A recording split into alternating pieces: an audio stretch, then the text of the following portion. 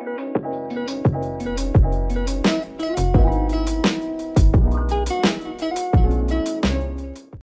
lovies! It's Monique Nagtama again. Welcome back to my channel. I know matagal akong nawala.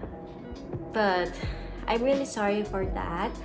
And hindi ko na-continue yung mga videos ko kasi may mga important things ako na inuna.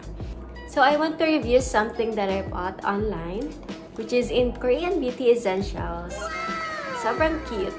So, marami silang binabenta. Meron gel tints, meron clay mask. So, if you are located in Oman or if you are staying in Oman, so you should buy here. Yeah. So, let's start. By the way, if you haven't watched my previous video regarding sa review, I reviewed um, Tony Moly Delight Tony Tints. Yan, i-appear ko dito. So, natuwa lang ako kasi marami siyang views. Thank you for that. And so, that's why I decided to make a review again. So, these are the three shades that I bought. I think they have only three shades. So, this one is PK004.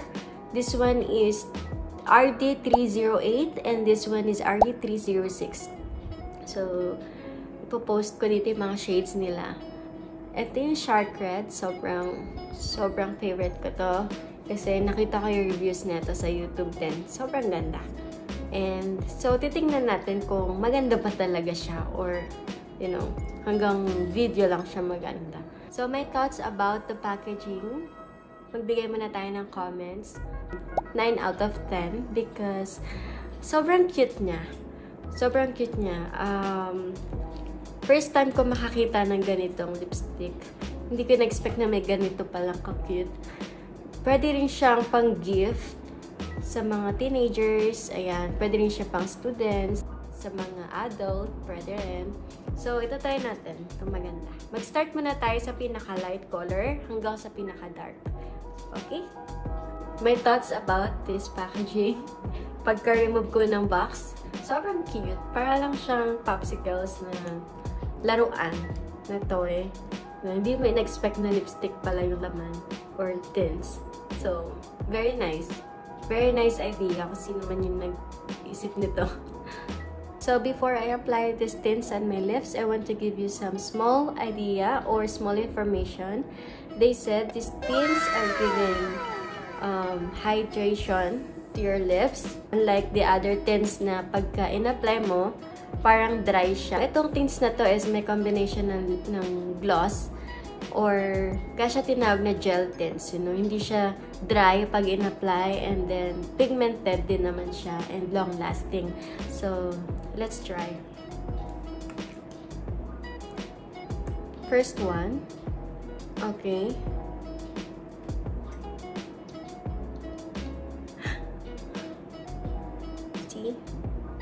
Yung applicator niya.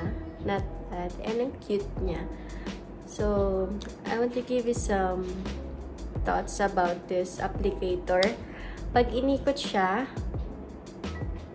boom, andun na agad. Hindi kagaya ng ibang tints na kailangan mo pang ikot-ikutin, no?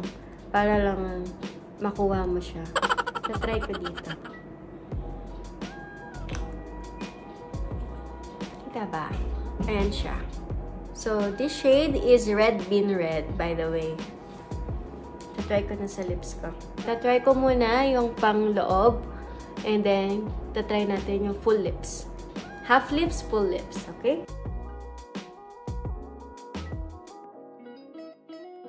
Um, smell like marshmallow na ewan.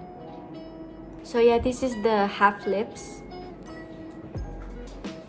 By the way, don't judge my face. Kitang-kita yung mga pores ko and alam niyo naman, sobrang oily. So, okay. We'll try now the full lips.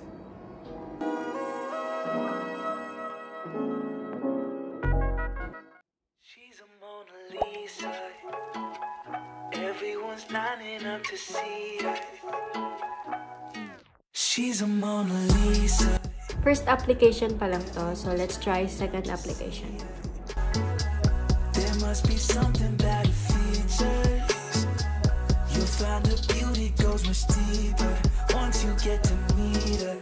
You see her walking down the boulevard. She got the posture of a superstar. Okay. Done. So, medyo nahirapan tanggalin siya. So, this is the second one. Shade RD308. Honey Red. So, um, swatch muna natin and then try natin sa lips. It's fever. She lives a double life. Okay. Medyo, ano siya, parang watermelon. Watermelon na color. Medyo purplish red.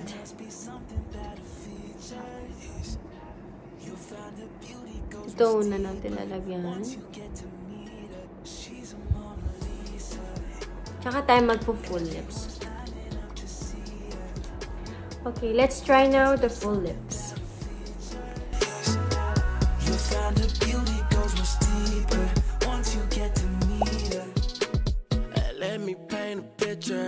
I see they don't understand. Feeling like Picasso. She brushing against my hands. Seen you from around Last but not the least, RD306 or Shark Red. I'm such a big fan of red lipsticks because as you can see, my lips is very big. Na-emphasize yung mga red lipsticks. So, this Shark Red, red and orange siya. Matingkad yung pagka-red niya. Shark red niya.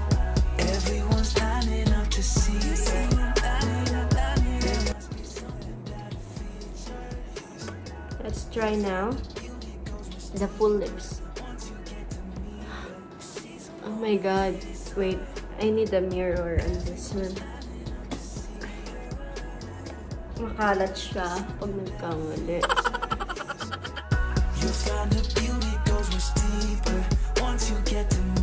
This is what I'm saying. If I told you red lipstick, it must be like this.